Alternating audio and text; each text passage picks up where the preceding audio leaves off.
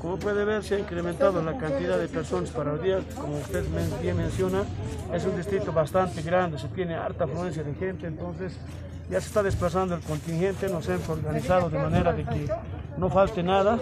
Hoy día se ha tomado otra línea de trabajo en el aspecto de que se va a tomar las pruebas rápidas a todos, sea asegurado, no sea asegurado, no vamos a ver ningún tipo de colores.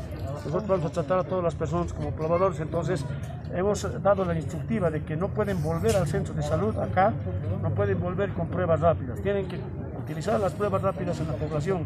Asimismo, los medicamentos que se les ha dado también tienen que aplicar a toda la gente. Esperemos que hoy día más bien nos pidan medicamentos, que nos pidan pruebas rápidas para que nosotros podamos de manera inmediata entregar. Vamos a estar haciendo el monitoreo por cada una de las brigadas para ver el trabajo eficiente que tienen que hacer.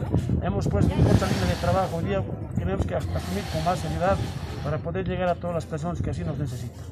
Doctor, ¿el recién cuántos uh, positivos le ha dado hasta el momento? Hasta el momento son varios positivos, en este momento no estoy agarrando la estadística, anoche se ha dado en el informe epidemiológico, ¿ya? ¿Más de 200? Sí, sí son más de 200, incluso más de 300, porque la que también no solamente ha sido casa por casa, también hemos hecho rastrillaje en el cuartel. 331. Exactamente, ayer por ejemplo hemos hecho rastrillaje también en el CETS Potosí, hoy día está continuando este rastrillaje, hemos encontrado también ya casos positivos que van a ser confirmados con una ELISA también.